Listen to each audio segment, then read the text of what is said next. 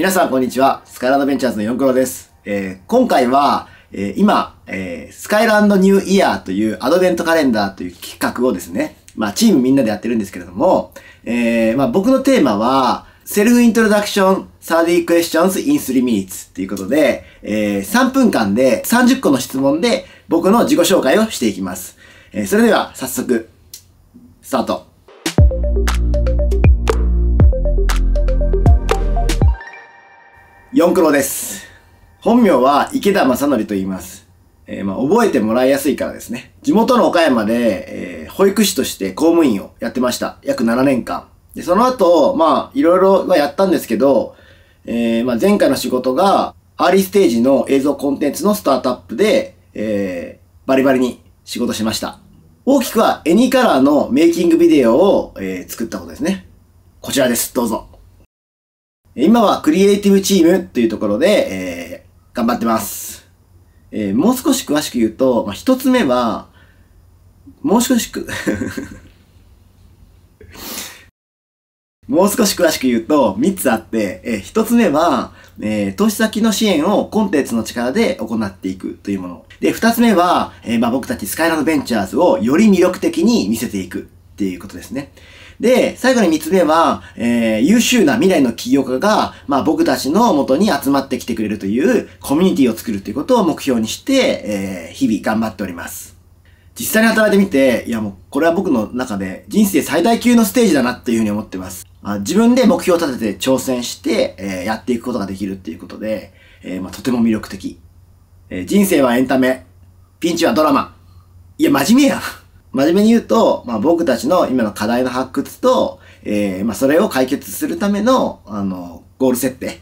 を明確にしていって、あと取り組んでいくっていうことだと思います。そしてあとチームと共用ね。今掲げている目標とかがしっかりと成果につながるっていうことは、えー、まあ、意識してやっています。ねもう一つは、あの、せっかくベンチャーキャピタルにいるので、未来の起業家にもたくさんあって、えー、まあ、自分自身もね、いいきっかけ作りをできたらなっていうふうに思ってます。それで Web3 の魅力は、まあ、その、クリプトが、まあ、陶器の場だったんだけれども、まあ、ただそれだけじゃなくて、まあ、あの、いろんなプロジェクトだったり、エコシステムっていうのが、もう本当にここ数年で大きく醸成したっていうのが、まあ、一つの大きな事実として魅力だなと思います。あと、えっ、ー、と、より自分らしく生きていくためのポテンシャルっていうのは、えー、常に持っているなっていうふうに信じてます。僕のクリプトの出会いは2017年に、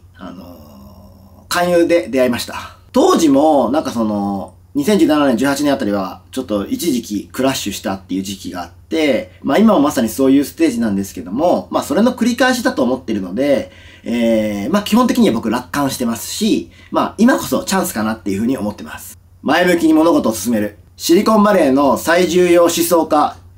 ナバル・ラビカント。考え方に似てるなって思いました。僕の生き方とめっちゃ似てるなって思って。自分の生き方が肯定された気がします。で、あと、瞑想と、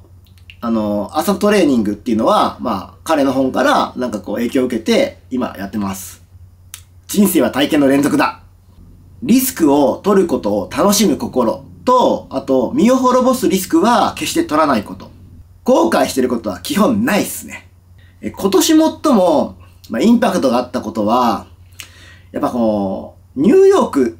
せてもらって、まあ、そこでコロナになったことですね。で、まあ、コロナがっていうよりは、コロナになったことで日本に帰れなくなったんですよ。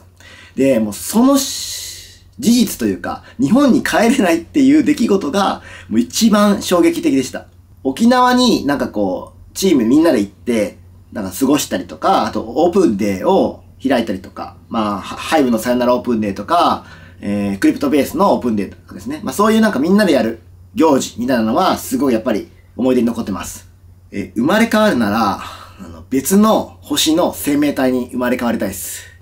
まあ、違う時代に行けるとしたら、500年後ぐらいの未来かな。いや、だから真面目やから、真面目に答えてるんですけど、まだ見たことないこととかやったことない体験がしたいので、まあ、それは、あの、時空を超えるぐらいじゃないとできないというか、まあ、時空を超えればできるかなっていう感じですね。時空を超えると、もう、めちゃくちゃできるかなっていうことで言ってます。ベンチャーキャピタルで働くっていうね。もうこれがまさに僕の中ではもう希少な体験で、えー、もう最高。ということが一つと、えっ、と、まあ、あとやっぱりこう、さっきも言ったニューヨークとか、まあ、あとヨーロッパとか、まあ、その海外でのその取り組みっていうのに、まあ、参加できたっていうのも、すごくあの、貴重な体験でした。2023年のスカイランドの目標。えーまあ、引き続き、コンテンツの力を使って投資環境っていうのを整えていきます。あと、まあ、僕たちはね、やっぱり投資していくっていうか一つの大きな、あの、仕事になるので、期待ができる領域っていうのは Web3 だけじゃなくても、えーしっかりと、まあ、基礎から学んでいって、えーまあ、インプットをしっかりして、解像度を持って、えーいろんな起業家さんとお会いしたいなと思ってます。あとは、まあ、英語のコミュニケーションはもう当たり前になってるっていう2023年、描きたいですね。